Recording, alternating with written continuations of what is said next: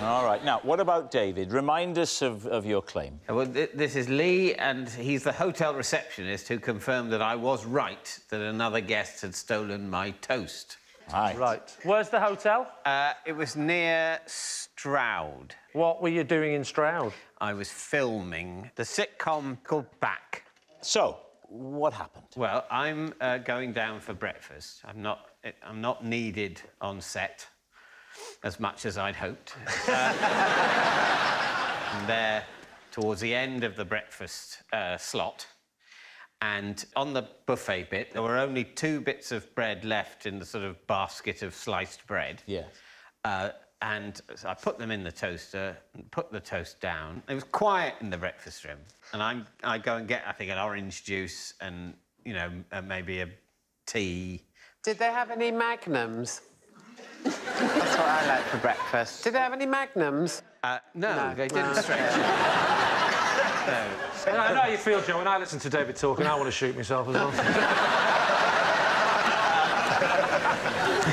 so tell us some more about the bits and bobs you had for breakfast. So I then turn round and the toast is not in the toaster and another guest is at another table eating toast. Cut to, it's a TV term. The next day, I'm going down to breakfast about the same time. Another day when you're not needed on set? You know, not needed first thing.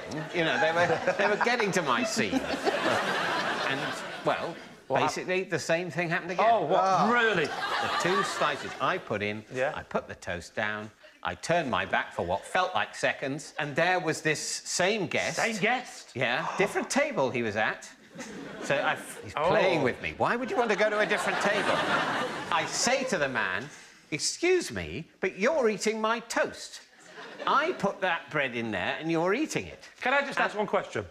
Can you promise us faithfully that there isn't a third day in this story?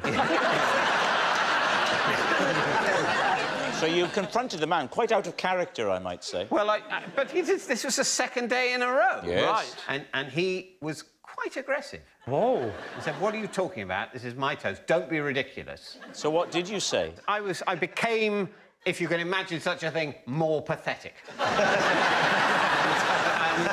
Now, when, when does... When, are we going to get to the point where this man enters your story? It's the last day of my stay, so I'm checking out. I go back to my room, I get my bag, I come down to reception. And there is Lee, Ah. the star of the story, but quite a late entrant. he says to me, um, as I'm checking out, Excuse me, I couldn't help overhearing your conversation in the breakfast room. And I have to say that you are absolutely right. And he shows me the CCTV. No, wait. No, he doesn't, David. He shows me He shows you the CCTV Whoa, whoa. from the breakfast room, and you've seen me, slightly grainy, put toast in the toaster, put it down, move away, and then this other guy, when the toast pops up, he takes it. OK, so... Is there anything else No, in this... Just let me recap. All right, we need an answer. So, Lee's team. Is Lee Joe's flattened friend, Lucy's plunging pedestrian, or David's hotel hero? What do we think? Well, I'm trying to visualise him in all these situations, and to me, the most realistic one seems like falling down a hole. He doesn't look like he works in a hotel. I mean, I, I What don't do you, know why, why I'm does he look like he works in a hotel? Well, um,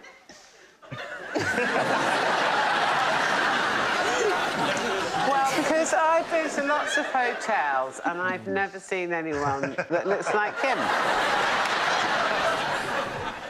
I think it's I think it's Lucy. Do you think it's Lucy? What do you think, Lee? I think it, I think it might be the golf. The golf.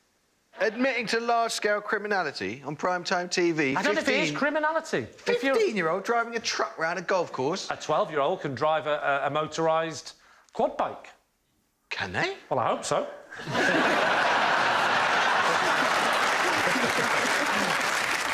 you both think it's Lucy. I think it's Joe, but I will go with Lucy. OK, Lee, would you please reveal your true identity? I'm Lee, and Joe and I run each other over.